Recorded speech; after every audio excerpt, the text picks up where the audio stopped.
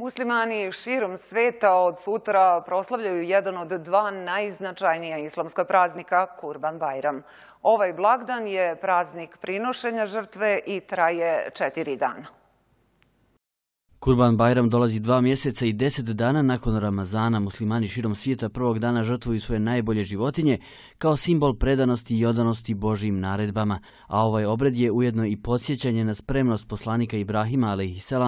da žrtvuje svog sina Ismaila. Prema vjerskim tekstovima, Bog se umješao u posljednjem trenutku i umjesto toga dao je Ibrahimu da žrtvuje ovna, što je tradicija kod vjernika i dan danas.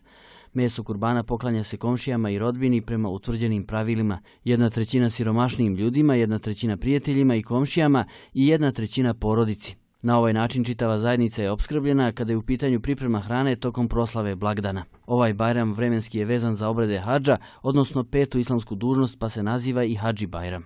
Tradicija je da roditelji daruju svoju djecu i ukućane, a djeca rodbine i djece iz komšiluka prvog dana dolaze da čestitaju praznik, dobivaju poklone i bombone. Običaj je da se kuće i javlija posebno očiste za ovaj blagdan, a da se vjernici svečano obuku. Muslimani Bajram dočekuju u svojim domovima, a u zoru odlaze u džamije na sabah namaz, čekajući izlazak sunca i klanjaju Bajram namaz. U Novom pazaru Bajram namaz će se klanjati u 6 sati i 39 minuta.